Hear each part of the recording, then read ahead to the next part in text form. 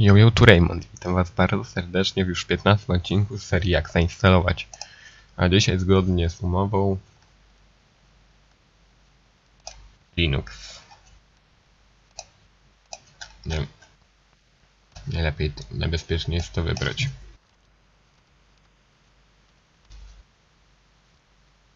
Tak, Linux Ubuntu. Ubuntu.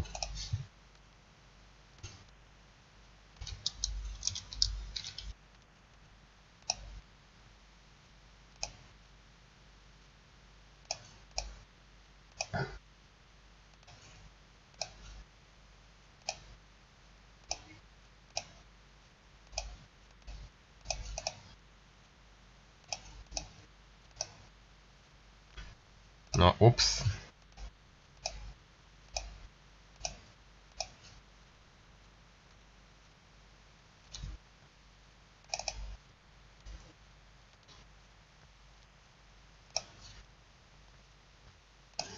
Tak naprawdę miał być Ubuntu, ale brą- brnąłem jakiś tam temat i po prostu stwierdziłem, że on już nie ma sensu dłużej tego ciągnąć i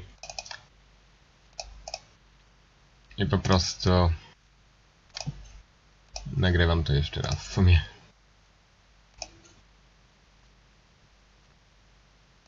Mam już na trzy odcinki przygotowane. Jeden, dwa i trzy. Więc najpierw zacznijmy od Ubuntu. Startujemy. A.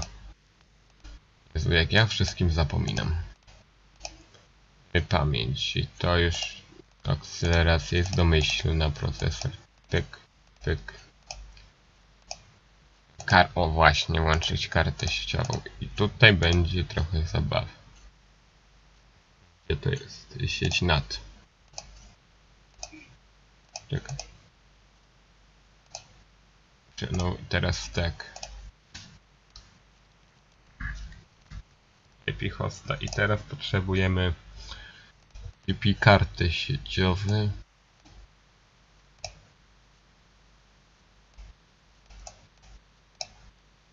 Jeden siedem dwa dziewiętnaście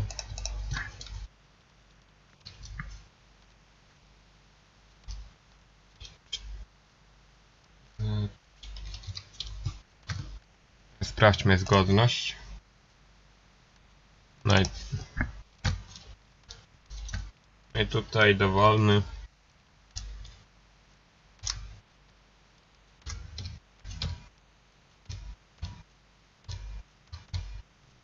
Może być dowolny.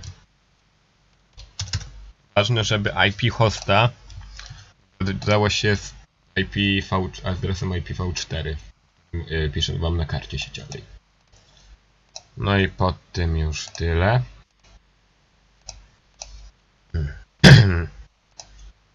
yy, dwa... Nie skalujemy, dobra, wystarczy myślę. No dobra, wystarczy, jazda.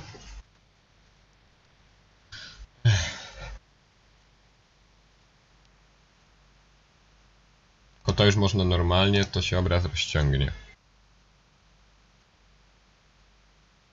O, mamy już tutaj. Nie wiem, czy jest kursor włączony, bo nie sprawdziłem. Jeśli nam Ubuntu 18.04. O, zobacz. Zobaczcie na... O, Mówiłem, aktywność karty sieciowej widzę, że jest włączona. Ja to, ja to zrobiłem, żeby internet działał. Więc tak, wybieramy język. Ja wybiorę polski. Można wypróbować Ubuntu, żeby się zastanowić i rozważyć wszystkie opcje. Chcemy w ogóle to zainstalować. A jeśli chcemy wypróbować od razu bez instalacji, bo to chodzi wolniej na, od płyty niż na dysku twardym, także zainstaluj.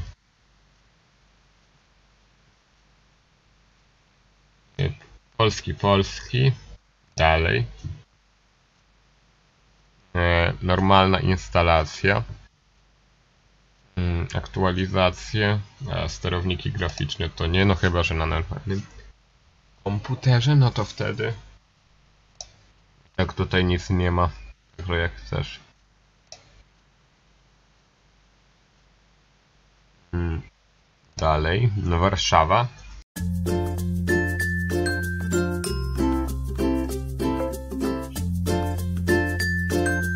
Można dać to jak nie chce się logować.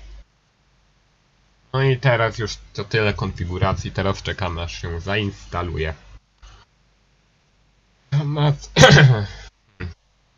Witamy w Ubuntu, szybki i pełen nowych funkcji. Nowa wersja systemu Ubuntu, łatwiej korzystanie z komputera bardziej niż kiedykolwiek. Oto kilka interesujących nowości. Gdzie dysk jest czerwo na czerwono. E, jeszcze więcej. Say goodbye to searching. Aha. Powiedz do widzenia w wyszukiwaniu po internecie nowego oprogramowania z dostępem do Snap Store i Ubuntu i archiwum oprogramowania Ubuntu. Możesz znaleźć i zainstalować kilka nowych aplikacji e, z łatwością. Po prostu wpisz czego szukasz al albo szukaj według kategorii grafika, fotografia, gry i produktywność i możesz posiłkować się opiniami innych użytkowników. Muzyka zawsze ze sobą. Ubuntu wyposażono w niesamowite odtwarzacz muzyki Rhythmbox. To proste narzędzie umożliwiające osłuchiwanie ulubionej muzyki, posiadające zaawansowane opcje odtwarzania. Doskonale radzi sobie z obsługą CD i sprzętowych odtwarzaczy muzycznych, dzięki czemu pozwala cieszyć się muzyką w każdej sytuacji. O, ładnie, podoba mi się osobiście, bardzo dobrze. E, Ciesz się zdjęciami. Shotwell jest podręcznym menedżerem kolekcji zdjęć przygotowanym do obsługi różnego rodzaju sprzętu. Wystarczy podłączyć aparat lub telefon, aby w łatwy sposób skopiować obrazy w bezpieczne miejsce lub opublikować. Centrum oprogramowania Ubuntu zawiera również mnóstwo innych doskonałych programów graficznych udos udostępniających wiele funkcjonalności, czyli GIMP. A w sumie jest. GIMP jest darmowy, na Windowsa też.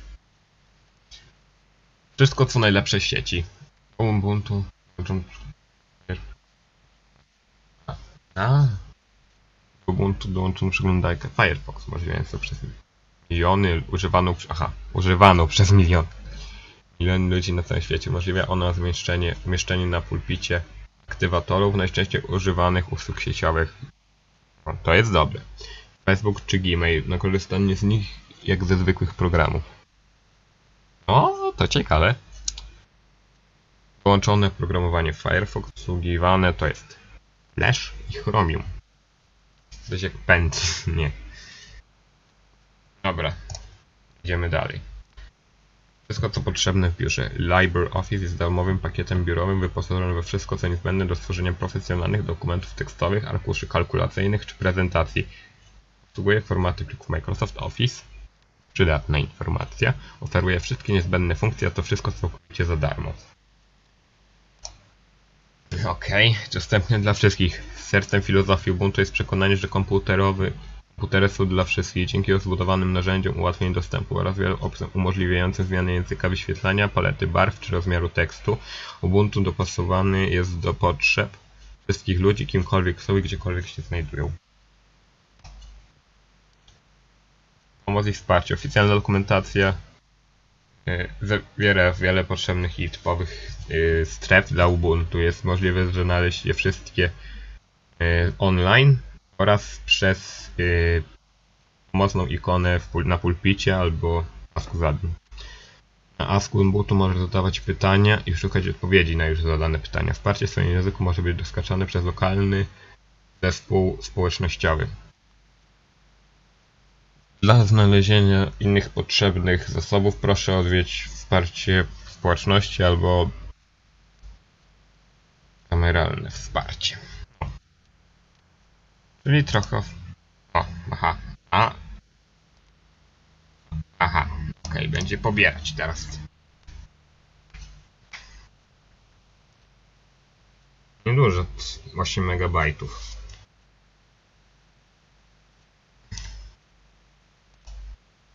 Mamy tutaj, możemy ustawić połączone.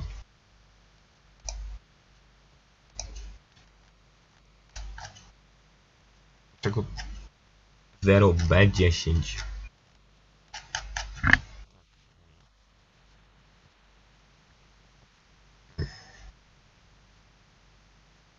i 386. Nie wiem ile pakietów jeszcze się mam pobrać. Dobra. Tylko to ma... Linux ma dźwięk, także będzie chyba to... You? What's wrong with me?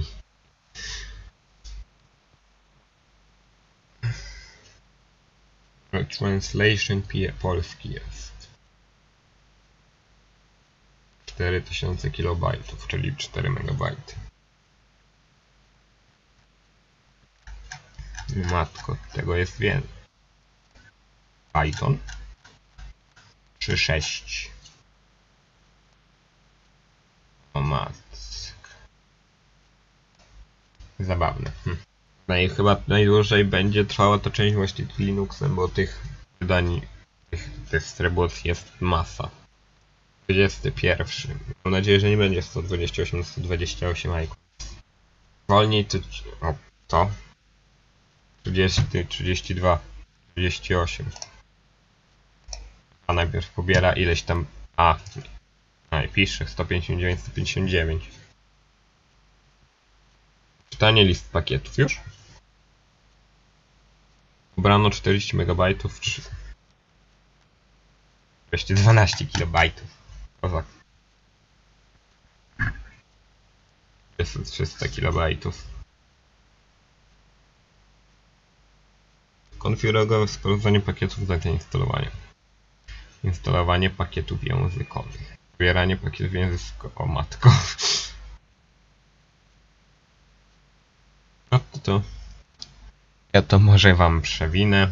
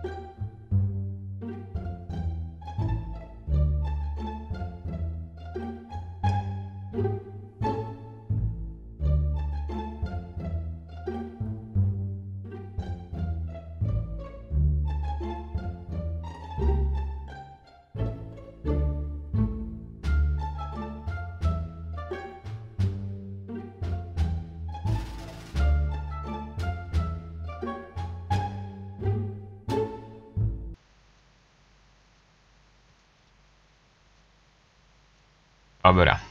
Teraz już będzie instalowanie pakietów i to by było na tyle. Tak będzie wyglądała większość instalacji y, Linuxa. Większość. Ale w tym odcinku jeszcze pokazałam jak zaktualizować jądro. Y, ro- jądro Linuxa oczywiście.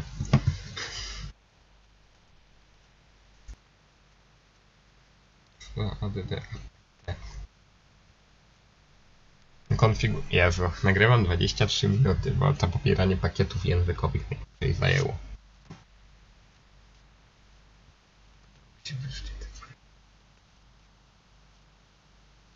Ja like Jack.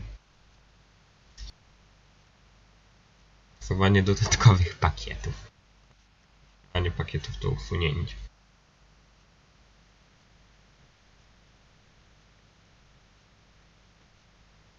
Usuwanie tych pakietów instalacyjnych. temp tymczasowe. A to z tym tutaj zadziała podobnie.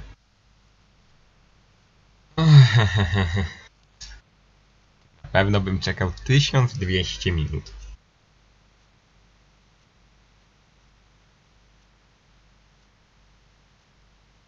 Swiss. Dobra, zobaczmy jaki jest spam w konsoli. Jednak takiego dużego spamu to nie ma. Winchpack, Thunderbird.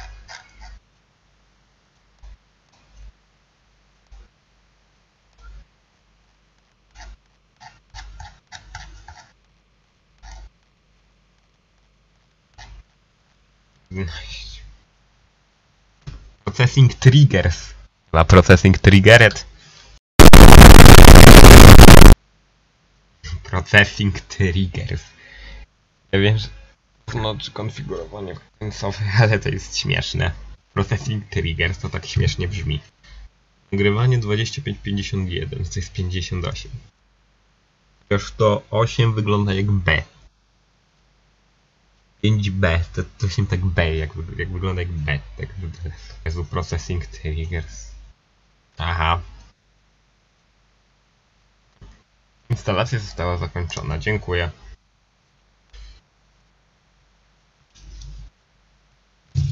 No. Please remove the installation med- medium, więc usuwamy. A już jest.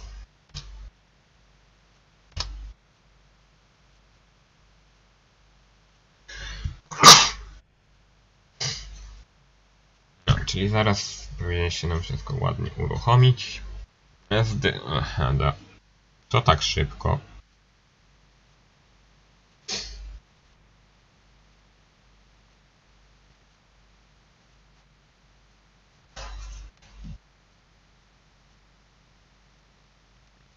Czuję tego powietrza. Strony to żelazo i ty.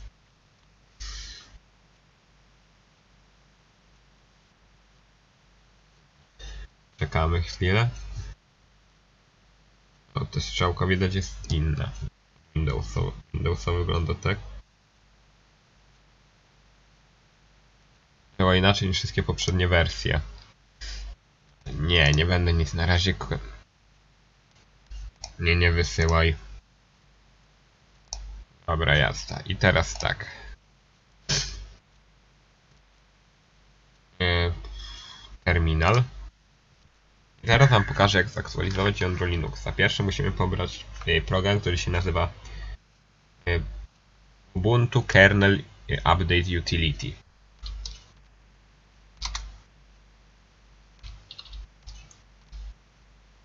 PT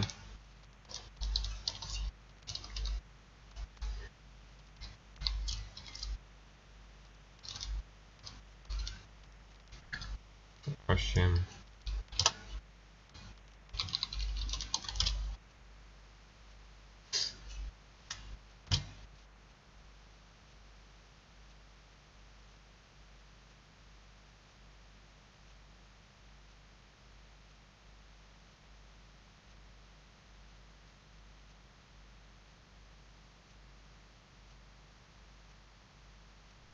Dziewięćdziesiąt jeden procent ogólnego postępu.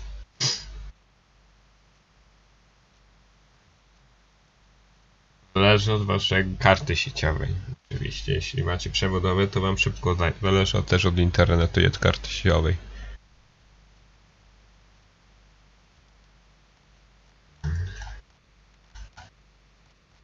Jeśli wam, to możecie zrobić coś takiego, jak wam nie wyjdzie za pierwszym razem. Kopiuj.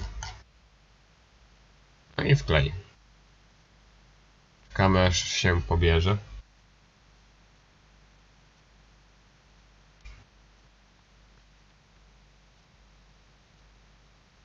Dobra, i teraz tak.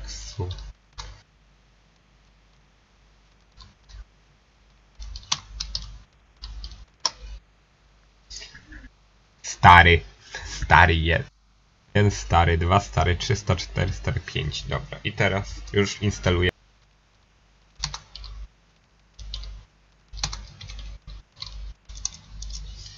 Stal.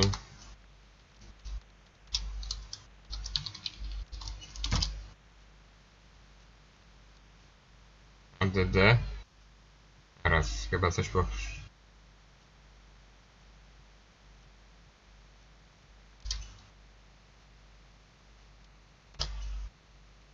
Aha. No tak, pewnie trzeba było zresetować. Ups. apt get, nie nie apt... Zapet. E, Zaraz pokażę wam jak to się w sumie to już tyle.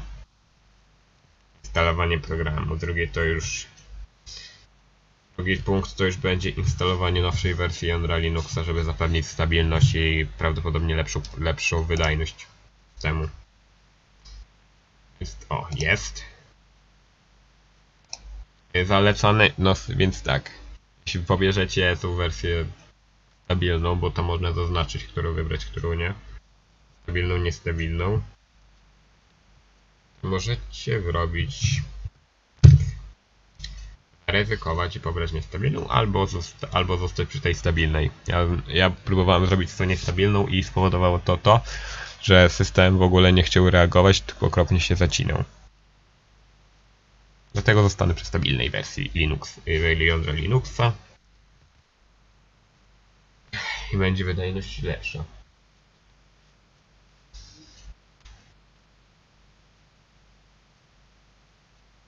Trzydzieści cztery minuty, o Jezu.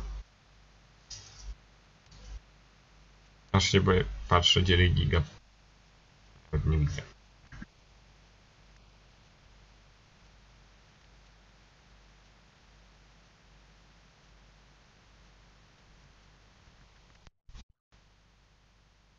Teraz wybieram interesującą nas wersję. Ja wybiorę tą najnowszą. Zainstaluj.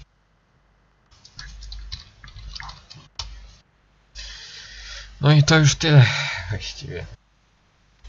Aha, jeśli wam coś, jeśli wam tego się pierwszym razem nie zainstaluje, to się tym nie przejmujcie, bo czasami się może zbugować. No i teraz czekamy aż się wszystko pobiera, poinstaluje i jak wygląda proces aktualizacji Linuxa. Kozak 45 MB.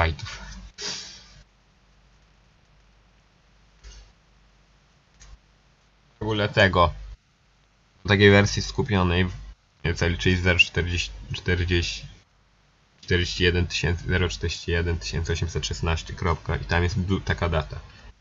Znaczy się dowiedzieć, kiedy ten, ta wersja jądra została wypuszczona.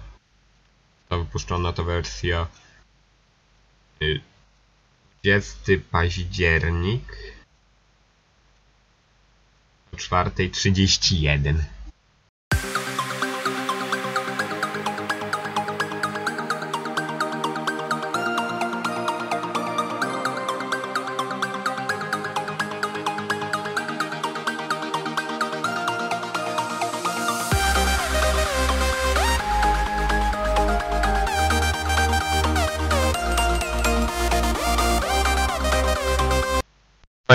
instalacja została zakończona. Instalujemy system. Tutaj się wyświetli tego, że o, zainstalowany, żeby uruchomić nową wersję Linuxa, trzeba zrobić po prostu. Urucham ponownie.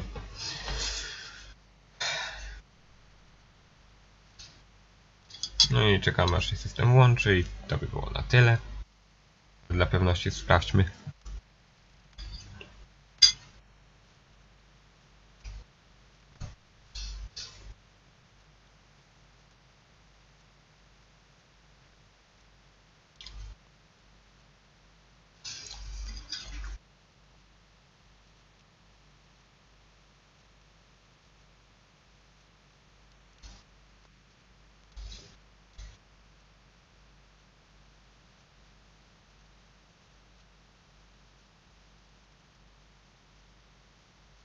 Teraz się logujemy.